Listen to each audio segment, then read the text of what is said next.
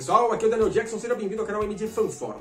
E olha só, esses últimos anúncios aí do spoiler, das produtoras e tal, anunciando a escalação do elenco do filme biográfico Michael, que deve sair aí em abril de 2025, gerou um interesse repentino aí entre os fãs por cinema, né? Algo que ninguém pesquisava antes. Agora o pessoal de repente está interessado para ver, obviamente, se o filme vai dar bom, né? Quem é o diretor? O que, que esse cara fez? Quem é o produtor? Quem é o maquiador? Então, aproveitando, né, esse hype aí e esse interesse repentino, é legal a gente lembrar que o Michael Jackson sempre andou de mãos dadas com o cinema de lado a lado ali, né? Mesmo ele não protagonizando nenhum longa, além de Moonwalker no caso, ele sempre esteve ali com grandes cineastas renomadíssimos. A gente selecionou seis diretores sensacionais aí, muito bem conceituados, muito bem respeitados na indústria, que trabalharam lado a lado com Michael Jackson. É muito legal a gente poder enaltecer isso daí, né, bicho? Muito bacana. Então bora conhecer quais são. Martin Scorsese. Martin Charles Scorsese nasceu em Nova York, Estados Unidos, no ano de 1942 e se tornou um dos maiores cineastas da história da indústria do entretenimento. E ele começou a carreira dirigindo curta-metragens ainda no ano de 1963. Em 73, dirigiu o super elogiado Caminhos Perigosos, estrelando um jovem Robert De Niro, e assim passando a ser reconhecido na indústria do cinema. Futuramente vieram os hoje clássicos e conceituados Taxi Driver de 1976 e Touro Indomável de 1980, ambos também trazendo o protagonista Robert De Niro. Entre novembro e dezembro de 1986, Martin Scorsese foi escalado para dirigir a faixa título do próximo disco solo do Michael Jackson, que viria a ser Bad, a ser lançado em agosto de 87. Poucos meses antes, Scorsese havia lançado o bem recebido A Cor do Dinheiro, estrelando o veterano Paul Newman e um promissor e jovem Tom Cruise. O curta de Bad, com o roteiro de Richard Price, fez muito sucesso e até hoje vive aparecendo aí em listas de melhores videoclipes da história da música. Depois de trabalhar com Michael, Scorsese ainda veio a lançar o filme que muitos acreditam ser o melhor trabalho dele, em 1990, Os Bons Companheiros. Ele ainda veio a levar o seu primeiro Oscar em 2007 pelo filme Os Infiltrados, e também trabalhou em outros ótimos filmes. No momento que este vídeo está sendo lançado, o seu último trabalho, Assassino da Lua das Flores, está concorrendo ao Oscar deste ano como melhor filme, e o próprio Scorsese está concorrendo como melhor diretor. Ele já ganhou ou não? Comenta aqui embaixo, bicho. George Lucas. George Walton Lucas Jr. nasceu na Califórnia, Estados Unidos, em 1944 e é um dos nomes mais reconhecidos da indústria, não exatamente apenas por dirigir, mas também como roteirista e como produtor. E ele começou a carreira dele timidamente ainda em 1967, dirigindo curta-metragens. Seu primeiro grande trabalho veio em 1973 com o filme Loucuras de Verão ou American Graffiti, o qual ele também escreveu o roteiro. Porém, como todos vocês devem saber, né, associar o nome dele aí, Lucas é reconhecido mundialmente por ser o criador da trilogia original Star Wars, do qual ele dirigiu, roteirizou e produziu o primeiro, que saiu em 77, depois recebeu o subtítulo Episódio 4, Uma Nova Esperança, e os subsequentes O Império Contra-Ataque e o Retorno de Jedi, que ele produziu e escreveu os roteiros. Além desta saga consagrada, né, George Lucas também roteirizou e produziu outra grande e renomada franquia oitentista. Iniciando em 1981 com Os Caçadores da Arca Perdida, tivemos o Indiana Jones e o Templo da Perdição em 84 e o Indiana Jones e a Última Cruzada em 89, todos eles inclusive dirigidos por Steven Spielberg. Em 1985, George Lucas já era consagrado ali, renomado por todo o seu trabalho. Né? Em cooperação com a Walt Disney, ele escreveu o roteiro e foi o produtor de Captain EO,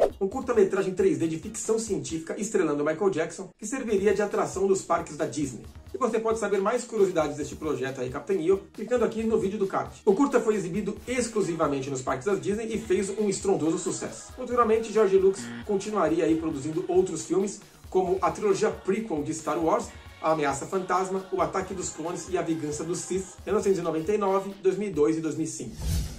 Francis Ford Coppola. Francis Ford Coppola nasceu em 1939 no Michigan, Estados Unidos, e começou sua carreira ainda dirigindo curta-metragens no início da década de 60, se expandindo para um tanto de materiais adultos ali no decorrer dos anos. Sua primeira produção de longa-metragem foi um filme de terror chamado Demência 13, que saiu em 1963. Mas é claro, né, seu renome e reconhecimento mundial aí, respeitadíssimo na indústria, viria em 1972, quando ele dirigiu um filme nada famoso chamado O Poderoso Chefão, que para muitos é considerado o maior filme da história. Inclusive pelo qual ele ganhou o Oscar de melhor diretor. Né? Além desse, o hoje clássico Apocalipse Final, que saiu em 1979, também foi um estrondoso sucesso, já era sinônimo de Coppola e também lhe rendeu indicações ao Oscar. Em 1985, ele foi o diretor e também o roteirista junto a George Lucas do que eu já mencionei Captain EO, o curta-metragem 3D lá em parceria com Walt Disney, que estrelava Michael Jackson e foi exibido nos parques da Disney aí. Bom, pelo peso destes nomes, né, George Lucas, Francis Ford Coppola, Walt Disney, você vê que o pessoal estava realmente levando a sério esse projeto aí com o Michael Jackson nessa época, né, que também era um nome aí de extremo sucesso junto a todos, né.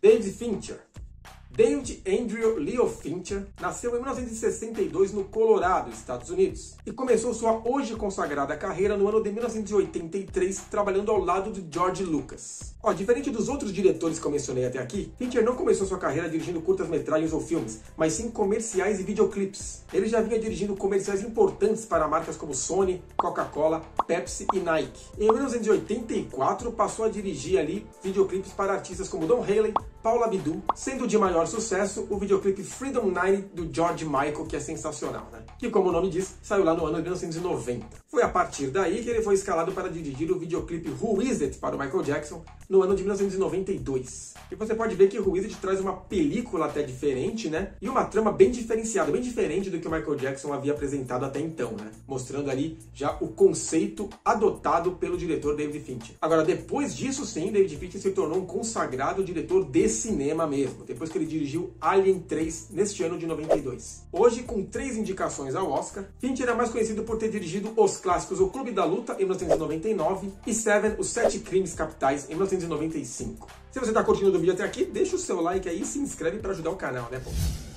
John Landis John David Landis nasceu em 1950 em Illinois, Estados Unidos, e por incrível que pareça, ele começou sua carreira aí interligada ao cinema sendo entregador de documentos, tipo um office boy da 20th Century Fox. Isso ainda lá na década de 60. Né? Antes de se conectar com Michael Jackson, Landis tinha dirigido oito filmes, fazendo grande sucesso com Irmãos Cara de Pau, de 1980, o outro que chamou a atenção do Michael Jackson, é claro, Um Lobisomem Americano em Londres, de 1981, e também o muito popular de comédia Trocando as Bolas com Ed Murphy, de 1983. Em agosto de 83, depois que o disco thriller ali começou a dar uma decaidinha ali nas paradas, o Michael começou a surtar lá com o Walt Getnikoff, o presidente da CBS, dizendo que queria que o álbum subisse, e ele teve a ideia de lançar um videoclipe para a faixa thriller que ele já tinha toda a ideia visual na cabeça. Com este conceito em mente, e tendo assistido um lobisomem americano em Londres, ele chamou John Landis para dirigir o projeto. Como o curta foi revolucionário e mudou a história do entretenimento, hoje o John Landis é mais conectado à thriller, é mais associado à thriller do que aos próprios filmes de sucesso que ele dirigiu. Depois de Thriller, Landis ainda viria a lançar um popular filme chamado Um Príncipe em Nova York com Ed Murphy, em 1988,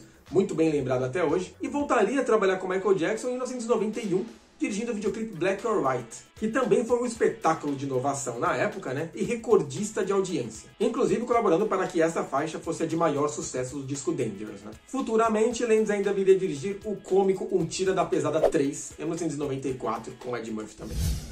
Spike Lee Shelton Jackson Lee nasceu em Georgia, Estados Unidos, em 1957 e se tornou um dos maiores diretores da história também. Lee começou a carreira ainda fazendo filmes quando estava na faculdade e após o ano de 1983 já ficou conhecido por dirigir longas mais voltados para a comunidade negra, retratando grandes personalidades e tramas inspiradas por personagens afrodescendentes. Antes de se conectar com Michael Jackson, Spike Lee já era bem famoso por ter dirigido Faça a Coisa Certa em 1989 e Malcolm X em 1992. Quando Michael o chamou para trabalhar, Spike Lee mostrou interesse em dirigir o curta de Stranger in Moscow, mas o Michael tinha outros planos para ele, na verdade, né? A poderosa e altamente crítica They Don't Care About Us. Em 1996, inclusive, ele dirigiu ambas versões, a do Brasil e a da prisão. Spike Lee também, inclusive, foi o responsável por negociar ali com os criminosos para que Michael Jackson tivesse autorização para gravar o clipe na favela carioca. Além disso, no mesmo ano da filmagem, de 1996, Michael produziu juntamente a Babyface a faixa On The Line exclusivamente para o filme Todos a Bordo, de Spike Lee, o qual conta uma história de um grupo de afrodescendentes a bordo de um ônibus a caminho da Million Man March, que foi uma popular e respeitada reunião em Washington, D.C., apenas de homens negros, protestando para que os negros recebessem uma visão melhor ali pela sociedade. On The Line toca nos minutos iniciais do filme. Além disso, póstumamente, Spike Lee chegou a dirigir o curta da música This Is It, que saiu em 2010. E também, é claro, os conceituados sensacionais Bad 25, de 2012, e Michael Jackson's Journey from On Town to Off the Wall, de 2016. Mais recentemente, inclusive, Spike Lee ganhou seu merecido Oscar de melhor roteiro adaptado pelo filme Infiltrado na Clã, que saiu em 2018. Então é isso, pessoal. Se vocês gostaram deste vídeo, deixe seu like, se inscreva. E que outros diretores que trabalharam com Michael Jackson você gostaria de ter visto nessa lista? Quem sabe uma parte 2. Ainda tem outros nomes muito importantes que trabalharam com ele. Então é isso, espero que tenham gostado. Eu sou Daniel Jackson. A gente se vê nos próximos vídeos, ok? Obrigadão!